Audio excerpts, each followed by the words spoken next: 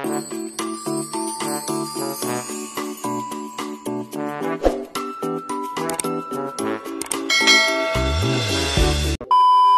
everyone, good morning. Ah, so ngayon guys, kakarating lang namin galing ng bayan kasi namili kami ng ulam pang ano pang ulam sa ating magtanim ng palay ngayon kasi ngayon yung schedule namin sa pagpatanim ng palay ngayon.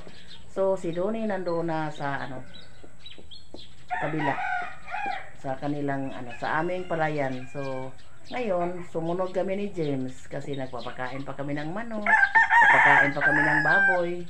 At saka si Ate lang magpa ano, nag-asikaso pa ako sa pagkain ni Ate lang para sa school kasi maaga yung klase niya. So pag ano pag ma, pumunta na si Ate lang sa eskwelahan, so kami pumunta na din doon sa aming ano magpapatanim. So magluto ako ng tanghalian na ulam nila namin doon sa ka ano doon lang sa kalos kami magluto para sa tanghalian. So magkita-kits tayo dyan guys. Ito yung mga dadalhin ko doon guys. So nagprepare na ako ng ma madala namin doon. So yun mag ano ka, ako guys magtinula ng isda ang sariwa ng ano tulingan sa merkado ngayon ganinang madaling araw so yun, nagbili ako ng dalawang kilong isda. At saka, parisan ko na lang ng ano guys, gulay. Meron akong kalabasa na nanguha ako ng kalabasa dito sa paligid. At saka, bumili na din ako ng ano, sitaw kasi wala akong tanim na sitaw. Bumili ako sa ano, pinsan ko ng sitaw. So, yung isang cup isuba ko guys ay pusit. Bili ako ng kunting pusit. Kunti-kunti lang guys kasi nagbudget tayo ngayon para makatapos tayo ng pagpapatanim kasi dami pang suhulan guys so yun doon ako magluto sa kalos so papunta na kami ngayon kasi nandoon si Doni maghintay ng agahan 2,000 years later. so ayan guys nandito na tayo sa ating ano ngayon basakan so silipin natin kung saan na ba yung natapos nila na kahon yan, tapos na sila dito sa ano malapit sa ating kubo. Yan, yang kanilang dito magsimula yung aming ano mga kahon sa palay. Uh, si Ruben at saka si Bibi, Rico, tapos na silang nag ano, tanim. So, kami na lang yung nahuli guys kasi medyo malayo-layo kami dito sa ano, palaya namin. Ito yung mga punla. Sad to say guys kay ano kulang yung ano natin binhi natin ngayon. Kasi sabi ni Don eh, hindi daw na ano turok tanan guys hindi na nurok tanan depende yun sa ano binhi. Uh, ni Abel kami sa binhi sa ano sa DE kasi may mga may mga binhi na binigay. So hindi kami nag-provide ng aming own binhi.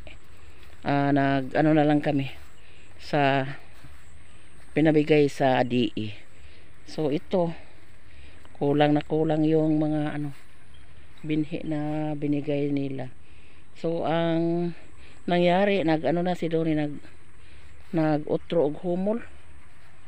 Kasi mayroon pang area na hindi na taniman. Nandun sila. Ito yung kanilang ano natapos guys yan ito kay Alan ito tapos na si Alan magtanim yung isang araw so may pinatanim tayong walong walong katao A few inches later. Ay, kawawa na yung kubo namin guys. Ang sagbot na. Daming damo. Daming mga ano, pilapil dito. Dito ako dumaan sa ating ano, kubo. Kawawa yung kubo namin. Hindi pa kami nakasurvive. Galing sa bagyong Odette. So, sige lang. Mag ano lang tayo.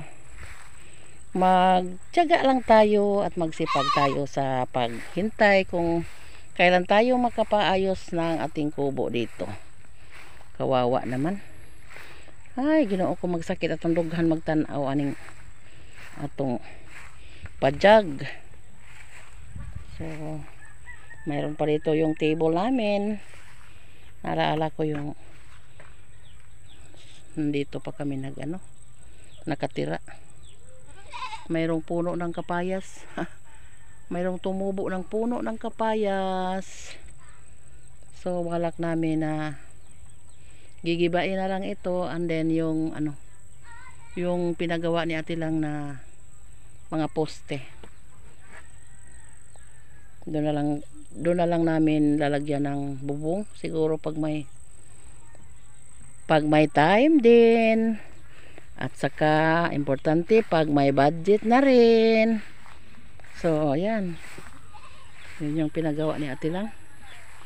Masyado nang ma sagbot so balak namin pag pag maka makaluwag-luwag na kami. Ito na lang yung lagyan namin ng atop or bubong kasi ano ligon yung haligi poste.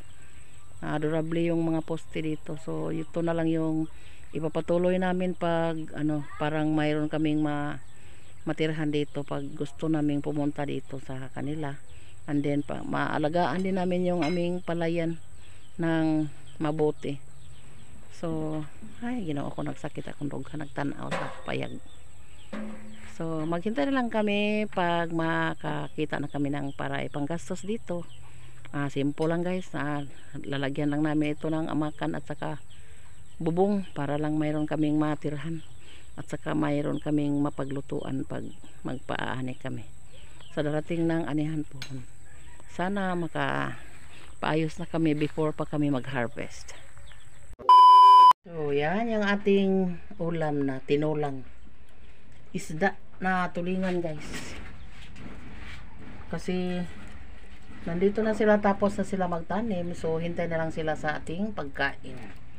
At naluto na din yung ating kanin. So, hintay na lang tayo sa sabaw. Kasi, ano, maagang natapos yung kanilang tanim itinanim na ano guys kasi naubusan na tayo ng ano punla so sabi nila hindi na daw sila ano umuwi na daw sila. Pero nag-prepare ako ng pagkain para sa kanila. So papakainin ko na lang sila. Maskin alas 10 pa na tapos sila nag ano tanim. So hintay lang tayo guys pag ano pwede na itong haunin. Ayan guys, nandito na tayo sa bahay ngayon kasi maagang natapos yung ating patanim doon. Ah, ga, ano gaya ng ating ah, hindi na paigo or kasya yung ating punla. So maagang natapos guys. So nagpapakain lang ako sa kanila. And then kami, umuwi kami dito sa bahay at dito na rin kami kumain.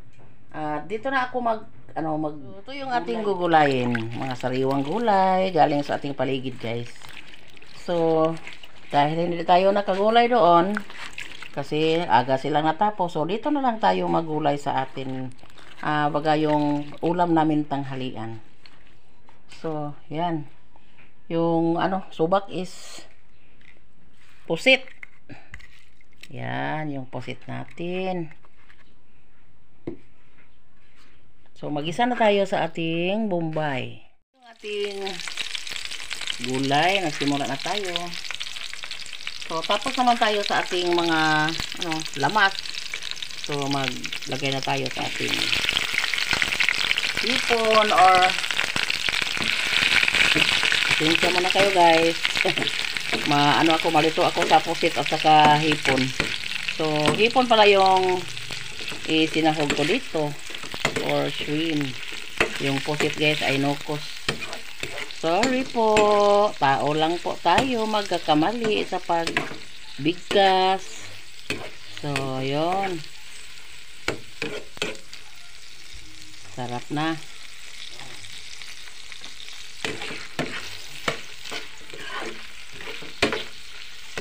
Yung ating sahog, hipon. Na natin paglagay yung ating gulay. Guwapa kaya itong gulay guys ay. Sariwang sariwa. Yan.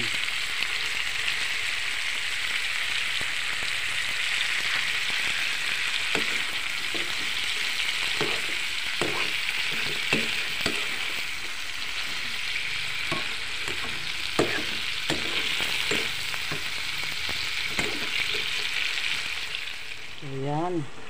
Lunod na lahat yung ating gulay guys. Ah, maghintay na lang tayo na malambot. Complete ba tong gulay natin guys? Mayroong kalabasa, sitaw, talong. Gawin natin gisado at saka lagyan natin ng oyster sauce. La, malambot na yung mga gulay natin. So lalagyan na natin ng oyster sauce. Isa lang guys, parang Patipid tayo. Sachet. Isang sachet.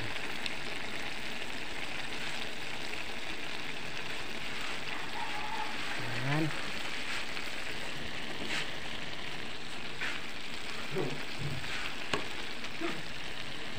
Sarap na guys.